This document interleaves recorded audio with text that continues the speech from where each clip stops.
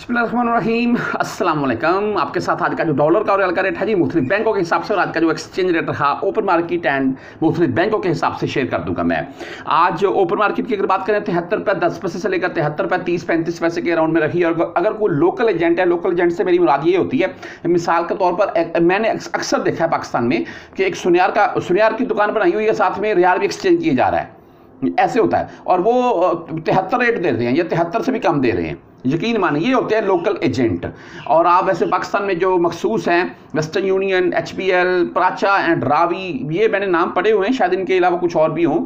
تو آپ اگر ان سے جا کر ایکسچینج کروائیں گے، تو آپ کو دوسروں کے نسبت بہتر ریٹ ملے گا. باقی گھوم پھر لیں. مارکیٹ جو بھائی پاکستان میں ایکسچینج کروانا چاہتے ہیں. اچھا اگر مختلف بینکوں کے حساب سے بات کریں، یہاں سے جو بھیجنا چاہتے ہیں، یہ ریٹ بہتر ہے.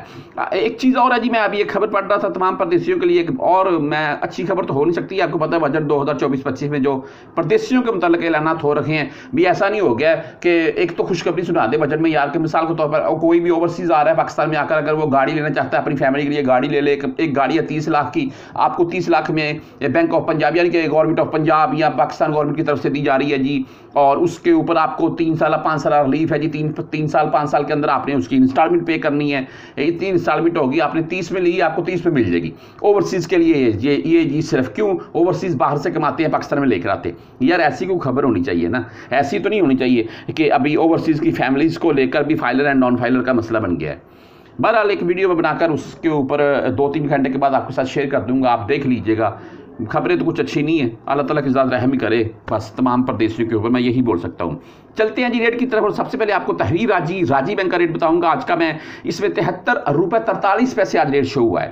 حالانکہ کال ان کا تہتر تیئیس چوبیس کے راؤنڈ میں تھا، آج تہتر ترتالیس شو ہوا ہے۔ بیسٹ ریٹ چل رہا ہے اور دس سترہ تیئیس فیس ہوتی ہے جی۔